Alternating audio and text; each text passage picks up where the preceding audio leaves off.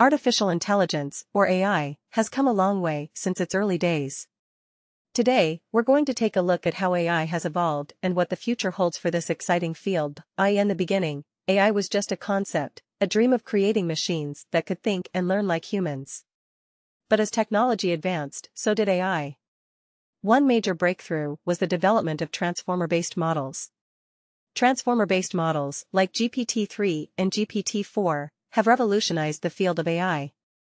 These models use a technique called self-attention, allowing them to process and understand vast amounts of data. They have proven to be incredibly powerful, with the ability to generate human-like text and even create realistic images. With the success of transformer-based models, the future of AI looks bright. Many experts predict that the next wave of startups will focus on voice and video formats. Imagine a world where AI can not only understand and respond to our words, but also analyze our tone and emotions.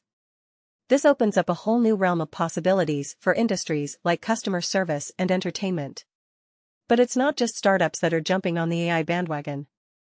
Big enterprise adopters are also recognizing the potential of AI. Companies are using AI to improve productivity, streamline processes, and make more informed decisions. The impact of AI is being felt across various industries, from healthcare to finance to transportation. However, it's important to acknowledge the limitations of AI. While transformer-based models have shown great promise, they still have their challenges. These models require massive amounts of data and computing power, making them inaccessible to many. There are also concerns about bias and ethical implications that need to be addressed. Some people compare AI to expert systems, which were popular in the 1980s.